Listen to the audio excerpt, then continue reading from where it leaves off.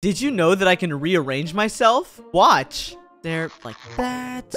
There. Hey, Nico. Oh, I guess he didn't like that. Anyways, look what else I can do. Put that there.